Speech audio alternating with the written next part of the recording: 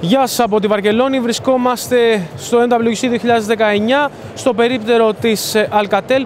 Μαζί μου έχω τον κύριο Τέλη Καραμπέρη που είναι country manager για τα Βαλκάνια και το Ισραήλ και ε, το MyPhone στα πλαίσια των βραβείων που ε, απονέμει φέτος στο MWC 2019 στις καλύτερες συσκευές παραδίδει το βραβείο Best Value for Money Smartphone στο, στην Alcatel για το Alcatel 1S.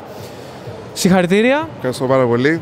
Ε, βλέπουμε ότι η Alcatel ξεκινάει πολύ δυναμικά αυτή τη χρονιά. Είδαμε και κάποια prototype ε, foldables, ε, αλλά και πολύ δυνατές συσκευές στην κατηγορία που στοχεύεται γενικότερα, στην entry level προς mid range.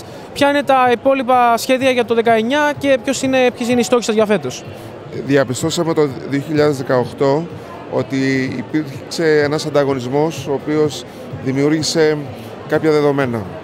Αυτό που εμείς μπορούμε να κάνουμε, γιατί είμαστε μια εταιρεία που ε, παράγουμε προϊόντα value for money, είναι να θωρακίσουμε το μερίδιό μας ε, στην κατηγορία του ε, low entry, entry και mid tier. και ένας από τους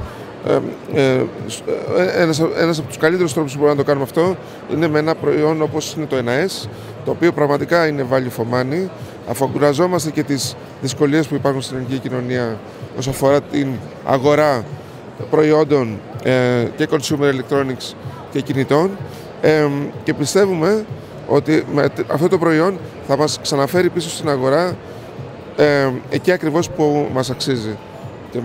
Ευχαριστώ πολύ και καλή συνέχεια στην έκθεση. Ευχαριστώ πάρα πολύ.